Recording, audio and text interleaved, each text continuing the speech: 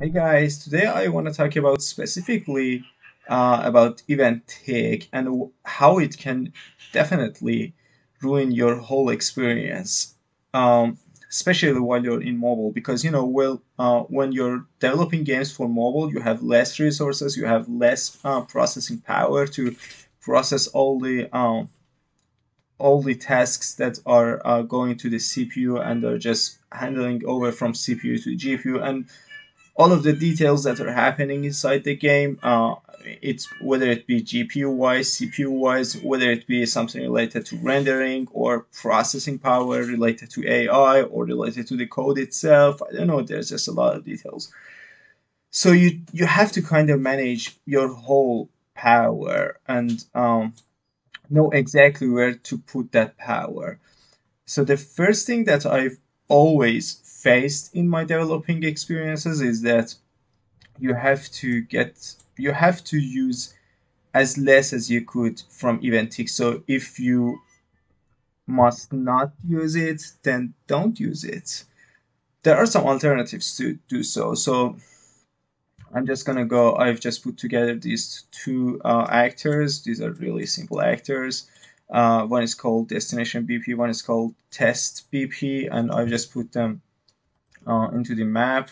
I'm just trying to um, explain how you can use alternatives to uh. So this is the test BP, and this is where the whole uh, process starts. You can easily set all this up with event tick. So, but I'm just trying to show how to not do that and how to do it in another way. The first thing that you could use uh, instead of event tick, if you want some timer, there's a function called set timer by events. Just go ahead and set timer by event or by function name or I don't know, you know it better than me. Uh, I've put the timer to uh, point one. Uh, what it does is, is that actually um, it just shows me that the timer works. So let me show you. So yeah, as you can see, the timer is working and there's nothing wrong with it. It's just it's it takes every 0.1 second. So this is a timer that you can easily use instead of event tick And what it does actually is that if you uh, you have the option to in event tick in every blueprint actor, you have the option to either uh, set this tick enabled to false. So in that case, you don't have any tick anymore or you can just set, set tick intervals. So as you can see, the frequency in seconds at which um, this tick function will be executed. So if I just go ahead and put it to something like 10, it will be executed. It will be literally ticked 10 times a second. So it's much, much less than the uh, actual event tick, which is ticking every frame. So if you are getting uh, 60 frames per second, you are ticking 60 times in only this actor. So imagine you will have a lot of a lot of a lot of other actors in the game in the whole level that are ticking all together and are just ruining the whole experience and the whole performance. It's just I mean, consider this way. Right now, it's at 10 millisecond with uh, with 20 of these actors running some I don't. I wouldn't say uh, Freddy complicated, but running some complicated things on event tick, it could easily go down to some like 40, uh, sometimes 50, depending on the device that you're trying to uh, run the game on. So let's go ahead. So I've just explained this. This tick interval is really important, but remember, just set the value that you want and then test it afterwards. Sometimes it just doesn't work. Sometimes using the uh, timer is a better idea. The other piece of code that I put together is that, so I want this timer to be ticked until I go into the box. So when um,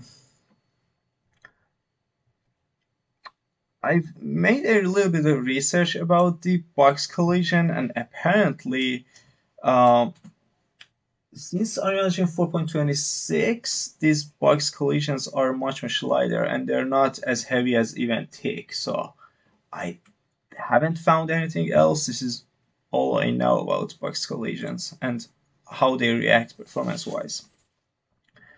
So I want to make sure that the uh, box is colliding with the player, with my player, with the first person character. The other way to do it is to just uh, get player character.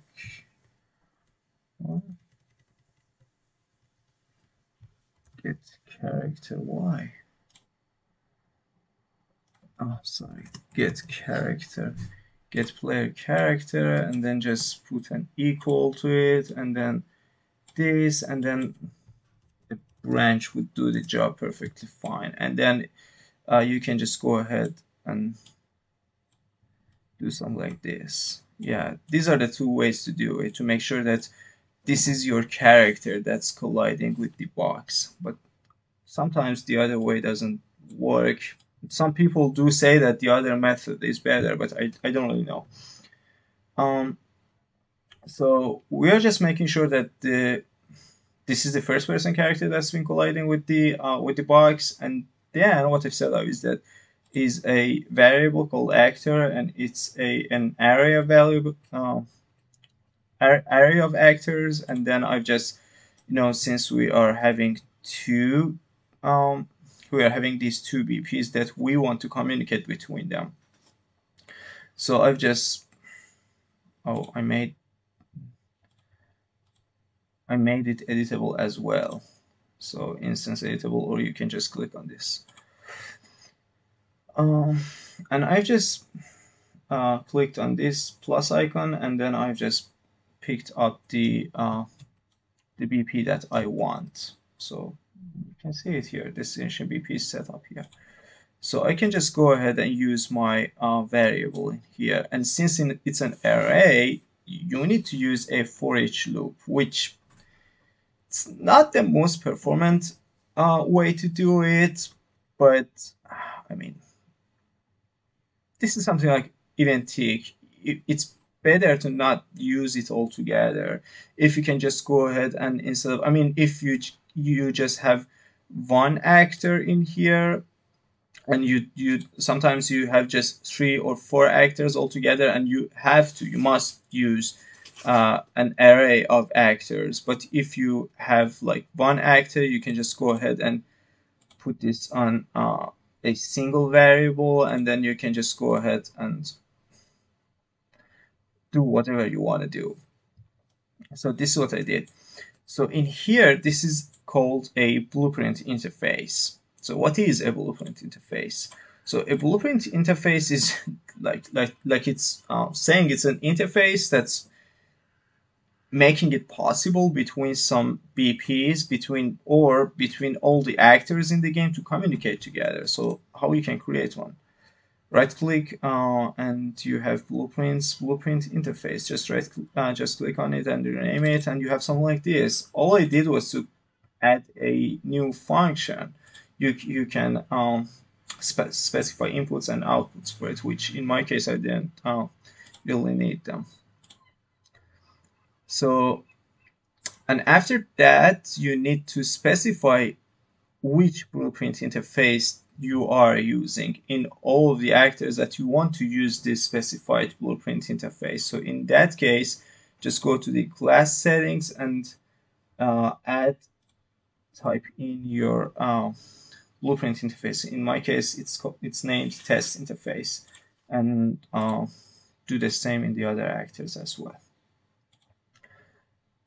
So now what how you can do is that uh, you specified a function called call test in my case. So just go ahead and you want to communicate with the other actor through this function. Fine, just go ahead and type call test and you have some like call test interface call. Uh, yeah, event call test is for the actor that's receiving the event and call call test interface call is the event that's sending the uh, the whole thing. So since we are using for each loop, I've just what I did was to just call test from here because this is the destination that we want to send. It is really important. Without it, it wouldn't work. And And after that, we want to, as I told you, I want to uh, invalidate the timer. So here I've just promoted this to a variable and then I can just go ahead and type clear and invalidate the timer by handle, which in this case you have to do it this way. Uh, invalidate, yeah, clear and invalidate timer by handle. And let's see what happens. So you have the timer on the screen, but when you go into it, you don't have the timer anymore. And this is something else that I want to talk about later on. But right now the timer is completely invalidated. You don't have you don't have it anymore, and it means that you don't have event tick anymore after the events run. Oh. oh the other thing that we have here, um, and it's it is similar to Blueprint interface, but it's harder to follow for other people that are trying to uh, read your code.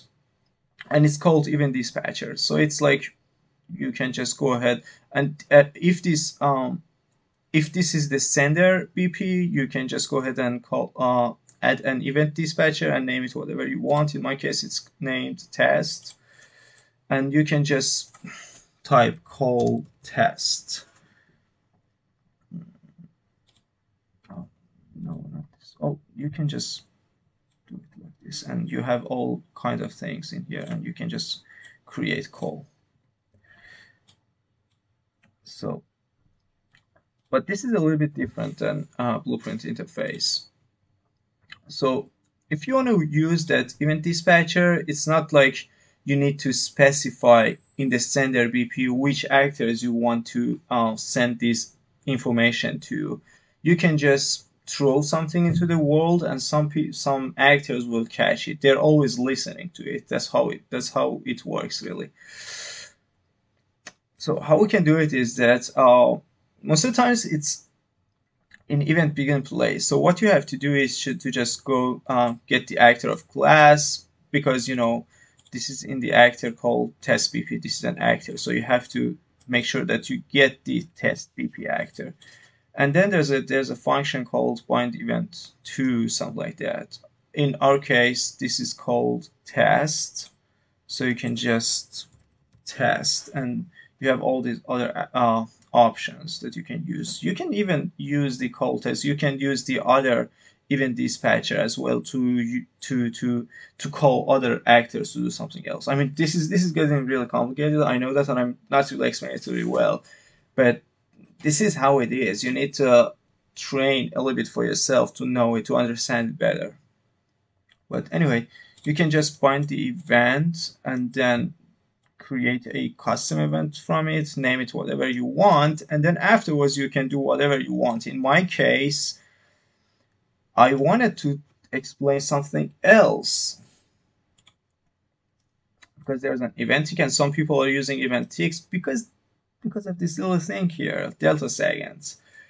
You don't really need to use event tick when you want to use delta seconds unless you are using delta seconds every second in the world. I mean, in that case too, you can use timer by event or by function name or by whatever you want actually. Um, so instead, this is one thing that you can do instead. And if, if you want some animations, this is the way to do it. So you just go ahead and create a timeline, add timeline, and then you can just go ahead and have fun with your timeline. You can just uh, hold shift and left click and add things to it. You can just set their time, set their value, um, set the length. If you want a vector track, you can add a vector track. If you want an event track, if you're a color track, you have a lot of options here. You don't really need to use event tick instead. And you can just go ahead and this is the uh, value that is given here. And you can just update it to whatever it is. And you have the option to use the finished uh, node as well, which this is how it does it. So it just, um, this is going to the 20 because it's uh, triggering the event four times. That's why.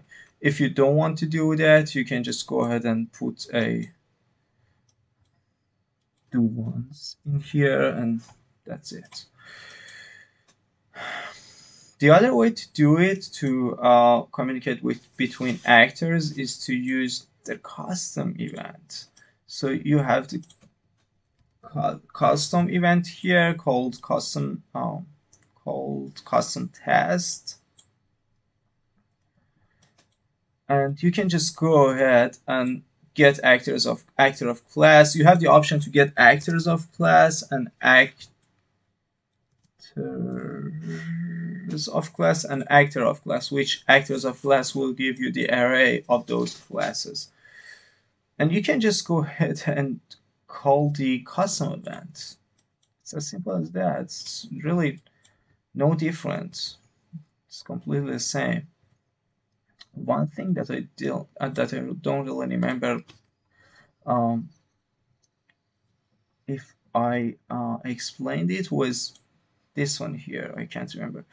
Uh, blueprint interface. So how you can call blueprint interface. So this is called um, this is calling the actor here to have the blueprint interface set up but you need to make sure that there's something for it in in the destination actor as well. If you don't have any uh, anything in it it's just calling it and nothing happens in this way. So you can just go ahead um, since you have set up your class settings you can just go ahead and type the function which in our case it's called call test. And this is the I believe yeah this is the event for it which again goes to the timeline that I've set up and yeah yeah I, I believe I, I explained everything. And these are the things that you need to use instead of event tick I wouldn't use event ticks more often in PC as well because mostly I've uh, worked with mobiles in UE4 and mobiles are like pretty weak I would say. But I would suggest that if you're working with PC as well, don't use event tick as much often.